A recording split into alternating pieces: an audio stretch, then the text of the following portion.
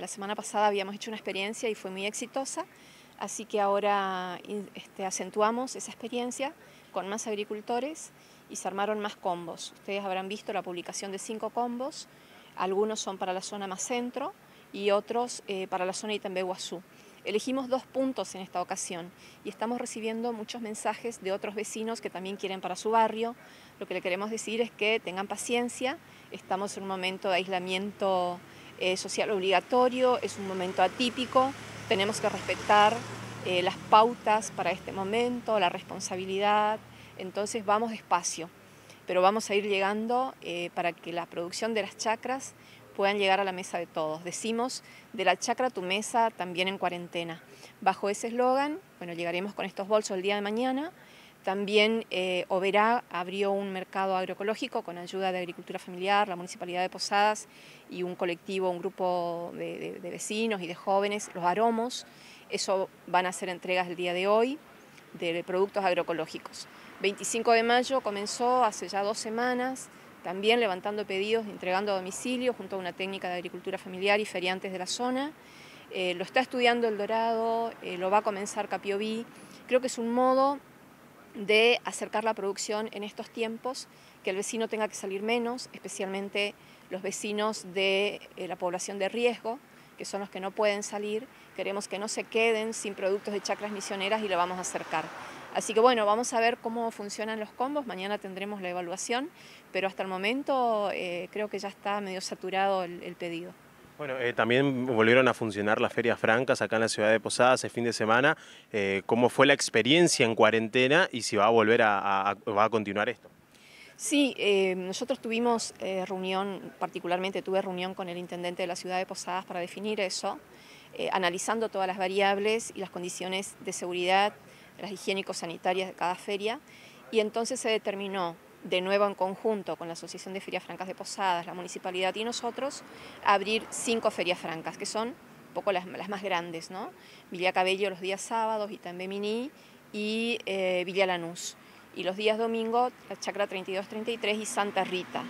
Eh, yo creo que los vecinos vieron y la sociedad vio que intentamos respetar al máximo la normativa, el protocolo, la policía de la provincia nos ayudó, salud pública también estuvo presente respetando las normas, creo que podemos eh, lograr que las ferias sigan estando. También vieron que no estuvieron todos los agricultores. Había menos del 50% de lo que solemos ver los fines de semana. La asociación organizó que cada fin de semana venga otro grupo para darle oportunidades a todos los agricultores. Además, muchos agricultores comenzaron a proveer a las verdulerías de su municipio, a los supermercados de su municipio, eh, salir a recorrer las verdulerías y ofrecer, así que la producción misionera se está colocando. Lo que le estamos diciendo a los agricultores es que probablemente hay que planificar de otra manera hoy la siembra. Caso de Gobernador Roca, le estuvimos diciendo con los técnicos de agricultura que tal vez no es el momento de plantar tanta lechuga, tenemos que plantar más cebollita, más perejil, zapallo, zanahoria, rabanitos, acelga, otras producciones que el consumidor de hoy está buscando porque también quiere alimentos variados y más nutritivos. Con la selga, con la cebollita uno puede hacer tortillas, torrejas y ya tiene una comida.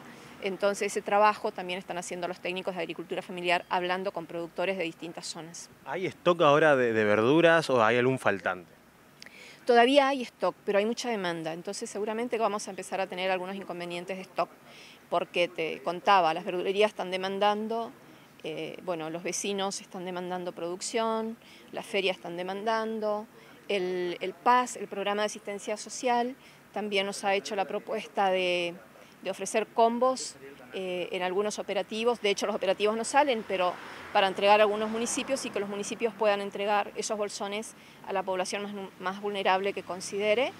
Y eh, también los tickets de la emergencia alimentaria siguen vigentes, así que estamos estudiando una nueva reingeniería para que el día que el vecino va con su ticket a, comprar, a retirar los tickets pueda también ya retirar un combo que estamos este, preparando junto con la Asociación de Ferias para los casos de posadas. Casos, eh, ferias del interior de otros municipios, eh, a partir también de la charla que tuvieron los intendentes el día de ayer con el gobernador, hoy están llamando porque van a poder volver a funcionar algunas ferias que no estaban funcionando, porque como ustedes saben hay muchos municipios que pusieron medidas de, seguridad y de, control muy estrictos que hizo que muchos agricultores no pudieran salir a vender a sus ferias. A partir de este fin de semana, seguramente que todas las ferias de la provincia van a abrir, siempre con el respeto de la norma, el protocolo de estos tiempos de coronavirus y de dengue. Así que la responsabilidad para el, productor, que se mueve, que viaja, pedimos que sean solamente dos eh, agricultores por vehículo, que vengan con su alcohol en gel o el alcohol diluido 70-30, eh, protegerse, cuidarnos, eh, este eslogan que lo repetimos todo el tiempo, ¿no? Cuidarme es cuidarte y tenemos que cuidarnos, ser responsables y ser muy solidarios, que es lo que todos coincidimos que tiene que suceder en nuestra sociedad. Bueno, ministra, la última, veo que en las redes sociales se están compartiendo recetas de platos típicos de la zona para que la gente ahora, aprovechando que está en su casa, también lo pueda aprender aquel que no sabe.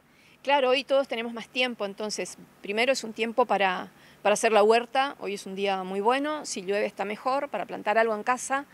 Eh, es importante tener algo, hoy nos damos cuenta ¿eh? cuánto bien nos hace tener un poco de verduras en nuestro patio. Segundo es cocinar, buscar recetas nutritivas, porque también de eso se trata. Así que estamos haciendo aportes, subiendo a las redes distintos tipos de platos, recetas que fueron elaboradas, esas recetas están proporcionadas por mujeres rurales.